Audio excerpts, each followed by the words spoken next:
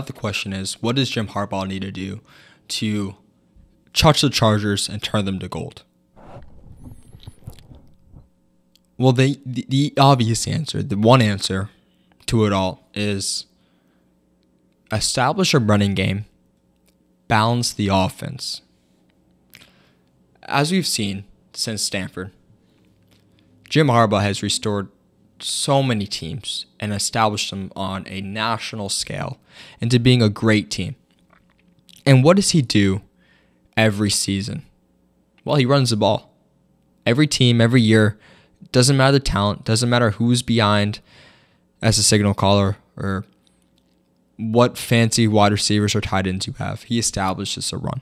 That's the first order of business. Always, it's always been, and always will be. Stanford, he had Toby Gerhart.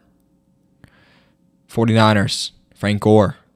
Michigan, you name a running back. Chris Evans, Zach Charbonnet, Blake Corum, Hassan Haskins, Donovan Edwards. He's established the run. He had a one two punch at running back, too. But he established the run. What have the Chargers forgotten about? The run. Why? Because the game's changing. The NFL's different, right? It's becoming more of a passing game. The best teams that teams that do well, they can throw the ball. Let me have you hold that thought. Let's think about this. Let's let it marinate. Let's think about the who's in the conference championships right now. The Chiefs, right? The Ravens, the Lions, the 49ers. And what do they all have in common? It's not quarterback. Brock Purdy is not Patrick Mahomes. Lamar Jackson is not Jared Goff. It's not defense. It's a running back. It's a running game. The Ravens have one of the the greatest running rushing quarterback ever. Great passing quarterback, but phenomenal running like running quarterback. He's unreal. Lamar Jackson. Gus Edwards, he's been doing well. Right? Dalvin Cook, he looks like he's coming out of his shell right now. The Chiefs, what do the Chiefs have? Isaiah Pacheco, great running back. 49ers, Christian McCaffrey, the best running back in the league. The Lions, David Montgomery, Jahmyr Gibbs, the best one two punch at running back in the entire NFL. It's about running, right? Yeah, passing is cool and maybe it's becoming more relevant, but it's still a running game. You need running backs. You need players to run the run the ball. All right, you you need the Seahawks to run the ball. And what have the Chargers been able been unable to do in the four seasons that Herbert's been there? Run the ball. Is it by choice or is it by force of hand? I'll leave that up to you. Is Austin Ekeler a great running back? No. Should they ran the ball more often? Yeah. I think it's a, a double issue in my eyes. It's a one-two punch. They they didn't have a great running game, and they also weren't trying to run the ball that often either. But step one, and honestly the only step, is establish a running game because it's going to help the three biggest issues. It's going to help in sacks, it's going to help in pass attempts, and it's going to help have a balanced offense. In 17 seasons that Jim Harbaugh has coached since 2007 when he joined Stanford, in 14 of those seasons, he's had a 1,000 yard rusher. And 14 of those seasons, he had players combined for running over 1,250 yards. In 12 of those seasons, he had players combined for running for over 1,500 yards. And keep in mind, college football, less games. When you coach the 49ers, less games. 16 games for the 49ers, 17 games now in the new NFL. And he still ran the ball more effectively in a longer period of time than Chargers could ever do in this four year period of time. They never had a 1,000 yard rusher in Herbert's four seasons there. They had two players combined for a total of 1,000 yards rushing or more, three out of those four seasons. Only one time had they had a running back and or two running backs combined for over 1,250 yards or more, and that was 1,275. They never had a running game. They never did. And that that's going to hurt your team a lot because it makes your team very predictable. Well, if they're not rushing the ball, they choose not to, or they just have really bad running backs, what are we going to do? We're going to prepare for the pass. Every play, we're going to practice like it's a pass play. We're going to drop back our secondary. We're going to lock down Keenan Allen. We're going to lock down Joshua Palmer. And we're going to bring the heat onto Herbert. And it worked. The Chargers have been terrible in these four seasons that Herbert has been there. They've been a dismal, ineffective, can't win in playoff games, can't even make the playoffs. Had the fifth worst record in the NFL this season with 13 games of Herbert played. Pretty telling sign. And if you don't believe me, if you don't believe the eye test and the record and what it's stating, let me show you some numbers of how a poor balanced offense leads to losses and leads to predictability. Well, it's easy to prepare for the pass when, yeah, A, you have running backs who are terrible and can't get yardage. B, it leads to more pressure on the quarterback when he is passing the ball. In the four seasons that Herbert and the Chargers have had Brandon Staley at quarterback, or excuse me, head coach, the Chargers ranked top 10 in most sacks allowed each season except for one, where they ranked 18th but still allowed 31 sacks. So in 2020, 34 sacks.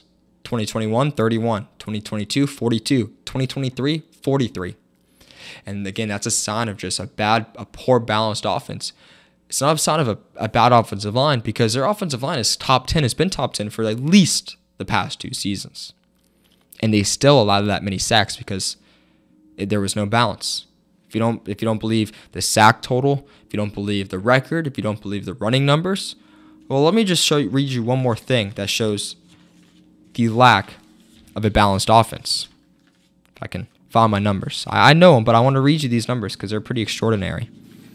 In 2020, the Chargers ranked fourth in pass attempts per game at 595, second at 672 in 2021, second in 2022 with 699. And in 2023, Justin Herbert was on pace to rank fourth in pass attempts at 597. The numbers tell you what's going on. They tell you how easy it is to stop or to just stop this team because there's no balance to it. And Harbaugh is going to be able to bring balance. He's brought balance to Stanford, San Francisco, Michigan. And if the rushing numbers don't tell you that, let me tell you one more fact. In Herbert's four seasons at the Chargers, his lowest number of pass attempts per game was 35.8. Then it was 40, 40, 41. In 17 seasons that Harbaugh's coached, since 2007 at Stanford, not a single player, not a single quarterback averaged more than 29 pass attempts per game. That was the most, 29. Herbert at the least was 35. They never even reached 30 under Harbaugh. They had 29. And you could say, well, who did they have at quarterback? JJ McCarthy. Going to be a first, second round pick. Andrew Luck. I mean, Heisman runner up in 2010, and he passed the ball less than 30 times per game. It's going to be a balanced offense, and it's going to work. Because Harbaugh doesn't care who is a signal caller. All he cares about is winning because he knows what it takes to win. And it starts with establishing the run, having a balanced offense. And the last thing I want to state about why I think this was a good move by the Chargers is because they will give not the Bill Belichick treatment of, hey, you're going to be GM and head coach, because as we've seen, it doesn't really work out too well when your head coach is your GM. But they understand Harbaugh knows what it takes to be good in football, so they'll help give him the reins. And what do I mean by that? There are a lot of moves coming for the Los Angeles Chargers. Entering free agency, they're negative $30 million underneath the salary cap. So they need to get above that threshold if they want to make any moves, have flexibility. In free agency, trades, they have to make moves. And therefore, there's going to be a lot of big name players departing from the team to create cap space. The likes of Joey Bosa, Khalil Mack, Mike Williams, potentially Keenan Allen, Eric Kendricks, big name players starting players, top of the line players that will most likely have to be moved off of on moved off on to create some space. And the Chargers understand this, and they know that Harbaugh knows how to build a team. So why bring a GM in that might butt heads with Harbaugh? You want to have good give and take, obviously, but you you don't want to have two immovable forces.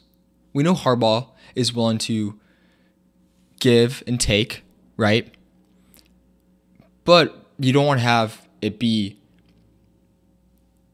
a big war breaking out between the GM and the coach. Like you don't want that to happen to any franchise.